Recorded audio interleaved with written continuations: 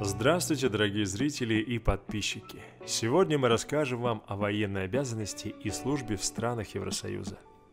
Исторически сложилось, что обязанность защищать свою родину существовала везде и всегда, но с течением времени эта ситуация немного изменилась. На данный момент все страны мира можно условно поделить на три основные группы. Первая – это страны, в которых нет призыва в армию по причине отсутствия собственной армии или страны, в которой исключительно контрактная армия и никогда не было опыта проведения призыва. Второе. Есть страны, в которых нет призыва в мирное время, но их законодательство предполагает возможность службы в армии при наступлении чрезвычайного положения. И третье. Страны, в которых призыв обязателен. Во многих развитых странах обязательная служба в армии уже отменена. К их числу относится практически вся Европа. Исключение составляет несколько стран из северной ее части – Важно также понимать, что если в стране нет обязательной срочной службы в армии, это не значит, что нельзя пойти на службу.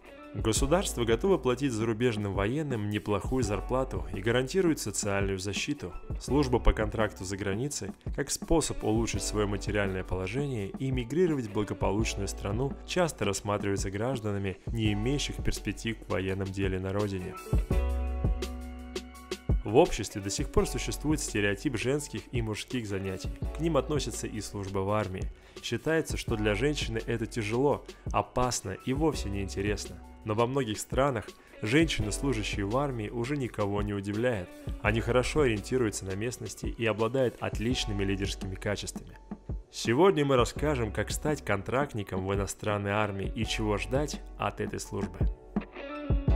Как показывает статистика, при выборе страны предпочтение отдается Франции, французский иностранный легион, Великобритании, Германии и Италии.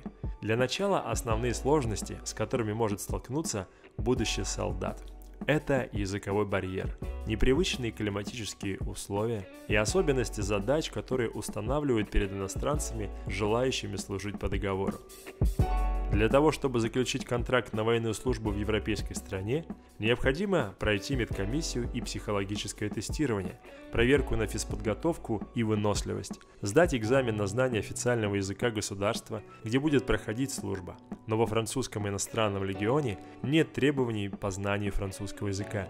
Если будет подписан контракт, то занятия по иностранному языку будут входить в обязательную программу обучения. Кандидаты, успешно прошедшие отбор, зачисляются на подготовительные курсы. После их прохождения новобранец может претендовать на заключение контракта сроком на 5 лет. Во время подготовительного этапа солдат ознакомится с условиями несения службы и обучения. Этот срок составляет, как правило, от 2 до 4 месяцев. В иностранных полках армеец должен проявлять физическую выносливость, организаторские и умственные способности. Активная и добросовестная служба по контракту за границей также предполагает присвоение очередных воинских званий и продвижение по службе. Социальные и бытовые условия, питание и вещевое обеспечение одинаковое во всех странах Европы. Содержание армии требует серьезных средств. И каждое государство подходит к вопросу с точки зрения разумной экономии, предоставляя военнослужащим только самое необходимое. В армии стран Европы нет дедовщины и дискриминации. Все служащие понимают, что это работа, и чем добросовестнее они будут служить, тем больше шансов продвинуться по карьерной лестнице.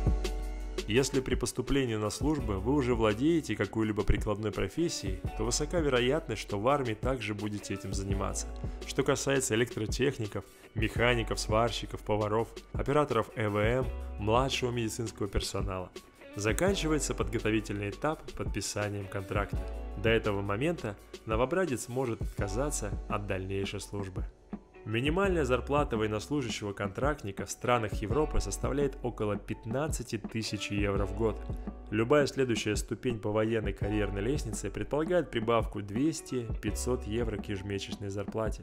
За командировку с продолжительностью 6 месяцев армеец младшего неофицерского чина может заработать около 15 тысяч евро. Для солдат Существует возможность получения гражданства. Минимальный срок службы в иностранном государстве – 3 года. В некоторых странах это 5 лет. По истечении этого срока военнослужащий имеет право обратиться с заявлением о получении гражданства. Только в том случае, если за время службы иностранец примерно выполнял свои обязанности, был надежным и добросовестным бойцом, не имел выговоров, взысканий и других видов наказаний. Служба в армии зарубежных стран выглядит заманчиво и может дать надежду на хороший заработок. Однако перед тем, как согласиться на заключение контракта, новобранец должен быть готов и довольно серьезным жизненным испытаниям. Если было интересно и познавательно, то поставить лайк желательно, а также нажать кнопочку подписаться на канал, чтобы быть в курсе новых видео. Круассан. Много вкусного контента.